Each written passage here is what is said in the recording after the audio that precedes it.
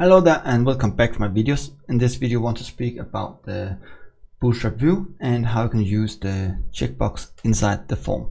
You have a lot of options and I will speak about the, the little of the options, how you can uh, check uh, checkboxes and, and something like that. So this video is about checkbox in the viewed uh, Bootstrap and uh, that's what we're gonna do today. I really hope you enjoy me here with my video uh, tutorials and uh, I hope you want to subscribe to this channel and I really hope you want to share it with your friends and like the, the, the video. If you have any questions after the video you're very welcome to smash the comments and ask me questions. I really appreciate to answer you as fast as I can. Thank you so much and let's starting the video. The first the checkbox we want to create will be a very basic one and it will look similar like what you normally use in um, inside uh, HTML but uh, that's what we want to do right now. So let's build the first one. B checkbox. And uh, then we just say I accept the terms and use. That will be a very simple checkbox normally and uh, then we can bind it with the model. And we can check box one. We will have uh, more checkboxes uh, over time here in this video. And then we want to say the value. The value is should be accept. Accepted sorry. And normally you can say on and off uh, if uh, if you want like um, if you have an HTML and uh, you basically not check the checkbox it will be nothing. It will be unidentified and if you check it it will be on. We have changed the value to to accepted and not one uh, on sorry. And uh, then when you uncheck it again it will be unidentified normally. But we want to say unchecked value should be not accepted.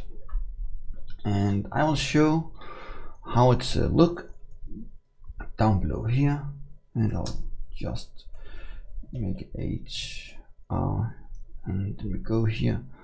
I'll scrolling down and put it inside and say this is null. So right now it's just nothing. And let's go in for the browser here and see it you can see this one and if I uncheck it it's not accepted. So what we're gonna do it's going back for the editor because you can see it's not starting about uh, that because we have uh, setting the default value as uh, none null sorry. And then we say not accepted. And then we should good to go. You can see not accepted accepted not accepted. So that's the two value we have in the very basic uh, the checkbox forms. Let's uh, speak about how we can working with the checkbox in the checkbox group in uh, for the for the bootstrap form, and then we can going up here, and we will create a new one. You can say b form checkbox group. We have it here, and then we go down and say uh, b form checkbox and for this we want to say value blue. And what pink. Black and yellow.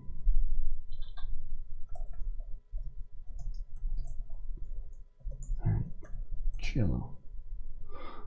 And we will say when you have a group and you need to bind the value you need to bind the the model up here. So we say checkbox 2 it doesn't exist yet but we will do this.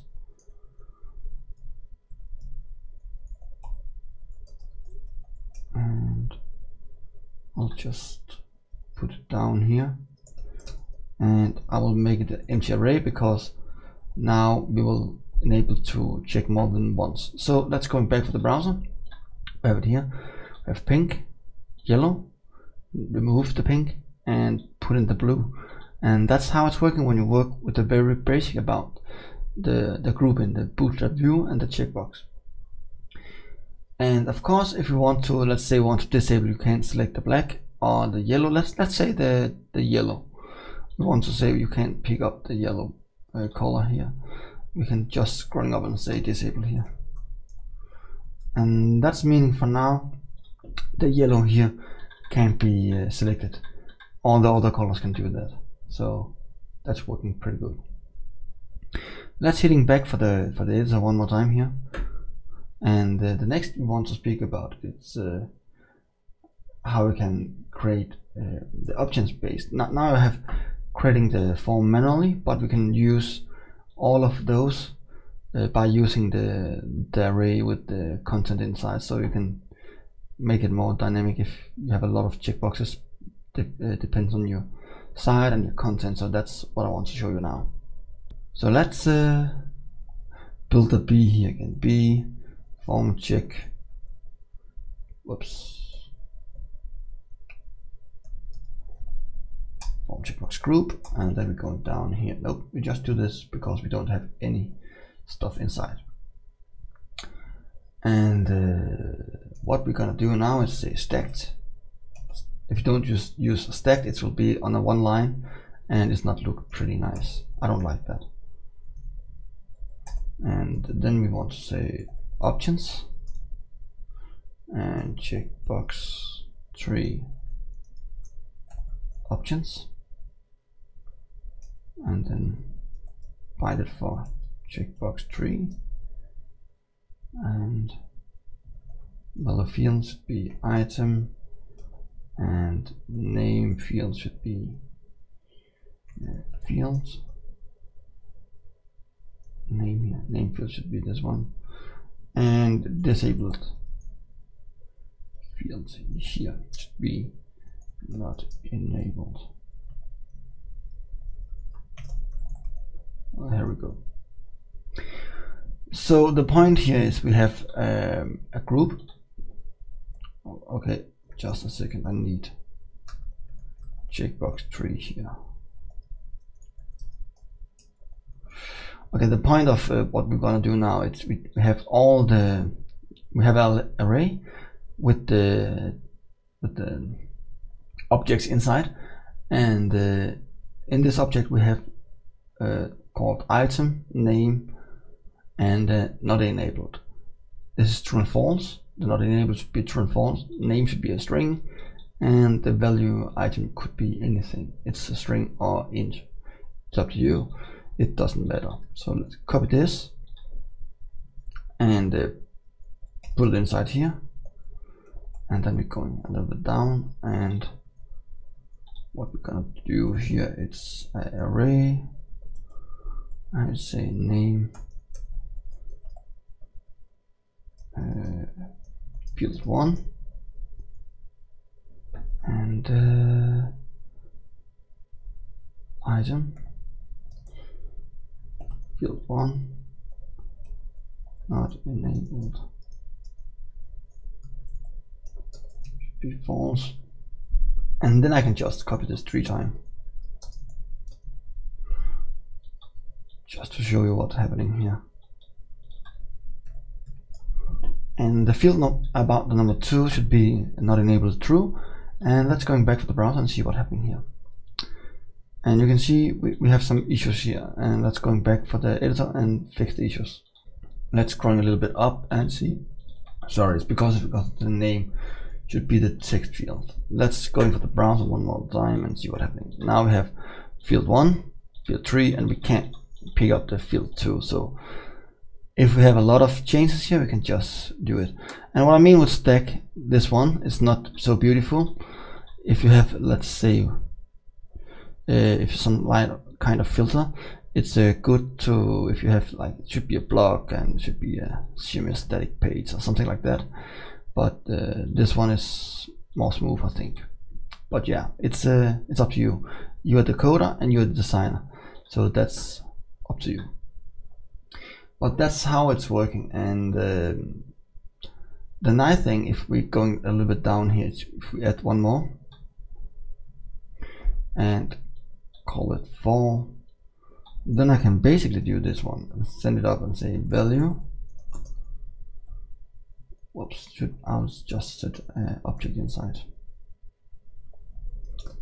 And then I want to say uh, allowed true something like that. And what I will show you now it's when you use the Vue in the bootstrap you can basically just use an array uh, object sorry. Now you can see we have uh, field 1 and field 3 it's uh, just the strings. If you pick the field 4 it's uh, it's object and contain more data. So you can make something like that if you want. And it's very cool in some cases to, to do, use this. So as default we can uh, we just use the the not so nice um, HTML styles but we can, we can change the style. So let's doing this going back for the editor. And um, that's what I'm gonna do now. I'll just copy this one.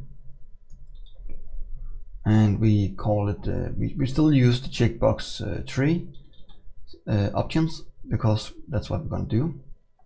And I will add the number four here. And uh, that's pretty good so let's just keep it in in mind. That's what we're gonna do. And uh, we have now stacked and if you want to change the style we can just use the buttons. And uh, you can see how it's working here. And you can see we, we group it down here and something uh, working pretty good. And that's how you can change with the style buttons. And uh, of course we can change the the style um, inside.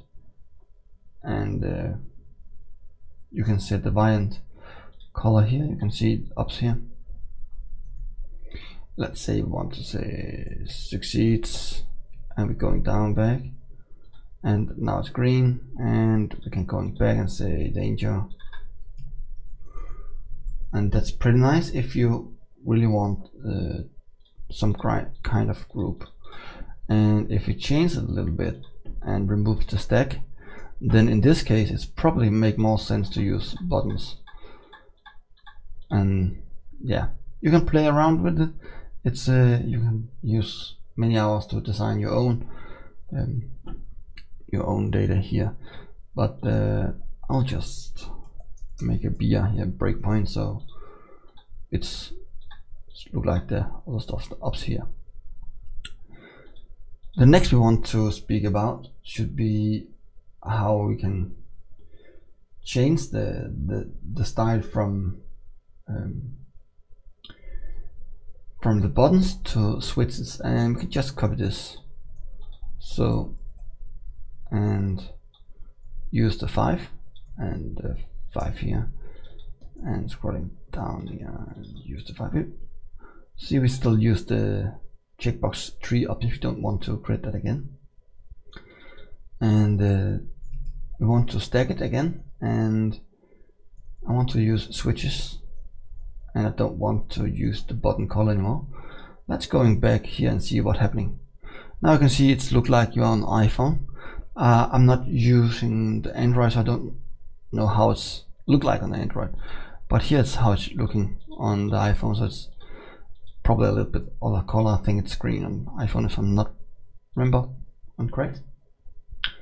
And uh, that could be a nice one like if you want to uh, design like uh, enable the notifications for something like the uh, when a user post new stuffs and something like that then uh, you can use this design it's, it's pretty nice and it's just a signal to the client like it's a turn off and turn on and uh, I think that's a good way to, to see that done so let's going back uh, to the browser and speak about the, the last thing about the checkbox before we are finished. The last thing we want to speak about here should be how you can validate the checkbox and I think that's a good way to do this now. So we still use the checkbox three options and that's working pretty good. So I think why not? So we have the checkbox 6 here and uh, let's go up and, and create some validation here. We have uh, b form and invalid uh, fallback and then we add the state should be this one. And please select two. And just say state. Yeah that's fine. And then we say thank you. And then we have valid. And we're going down to uh, to the methods the computer. sorry I want to see about we have this now. Nope. So I'm scrolling up here and say that.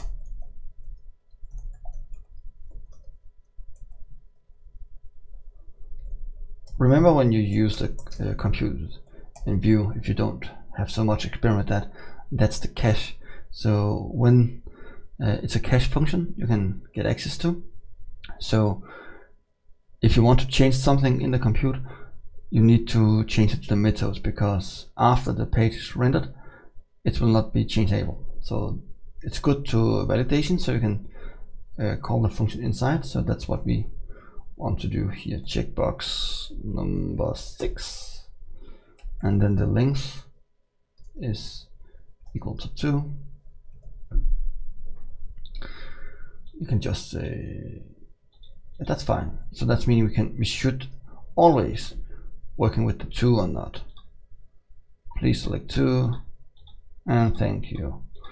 And I will just remove the switches down here for this. We don't need that. We just use the uh, the, the regular one. This one.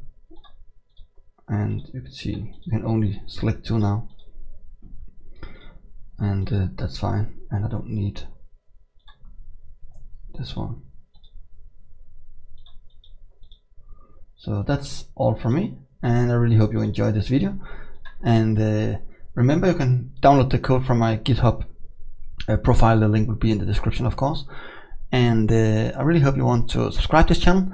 And I really hope you want to share this and like it so your friends can see what's happening. And of course if you have any questions please make comments below. I'll be very happy to answer you. And thank you so much to see this video to the end. Hope to see you next time. Bye